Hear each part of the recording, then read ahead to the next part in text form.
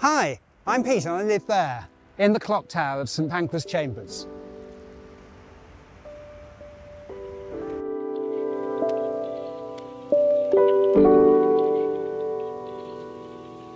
I was very lucky about 15 years ago to hear that the St Pancras Chambers here was being converted into apartments and I was able to persuade them to sell me the clock tower. Under the clock up there, above the balcony, is where I've got my apartment and I'd like to show you around what we've done to turn the building into a living home and a wonderful space that we can share with people who love this building from the 19th century. Right, come along in and come and see the St Pancras Clock Tower up here. So here we go, up into the tower itself, under the clock. So we've got this great big room here.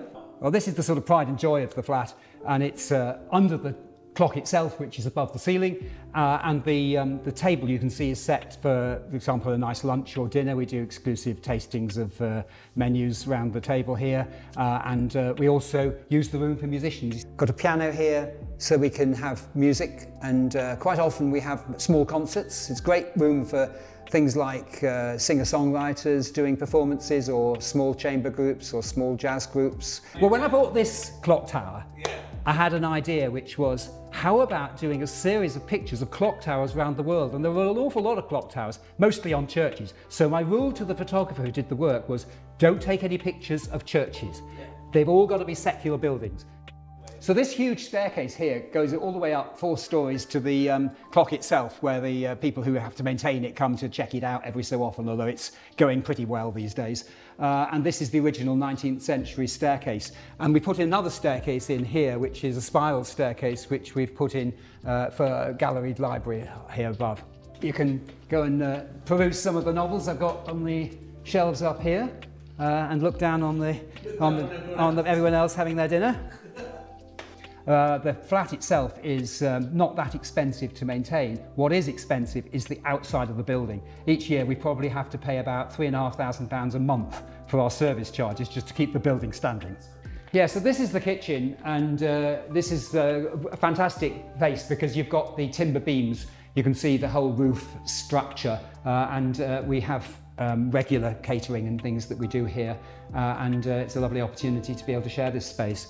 If you look over here you'll see the King's Cross uh, Square outside which wasn't here when I moved here. I've got a Christmas market out there that I'm looking out over today and so some nice ham and beef and things like that you can go and buy. And sitting having a morning coffee I can check the time because I can look up at the window here and you can see the time on the clock uh, through the window there. The St Pancras clock is exposed uh, through that window. Okay, so let's get down to the bedrooms. I've got two bedrooms downstairs. Um, I'll show you the master bedroom, the one that uh, we're most proud of, with the fantastic bathroom that it's got inside. Uh, here we've got uh, a room which I've managed to keep as a single room. They were going to split it, but I told them, no, don't split it into a bedroom and a bathroom. Put the bathroom up on a platform so you can actually have a bath looking out through the windows at the people coming in and out of King's Cross Station.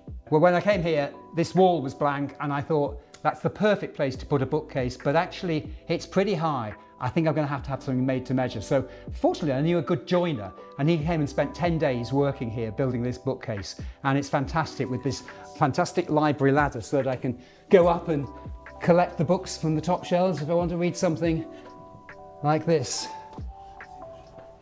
People who are buying places like this, you shouldn't invest in a place like this. You buy it somewhere to live and enjoy. I bought this because I wanted to enjoy it myself and I wanted my friends to be able to come and enjoy it, sit round the table, play some music, just enjoy chilling out here. So that's what I wanted it for.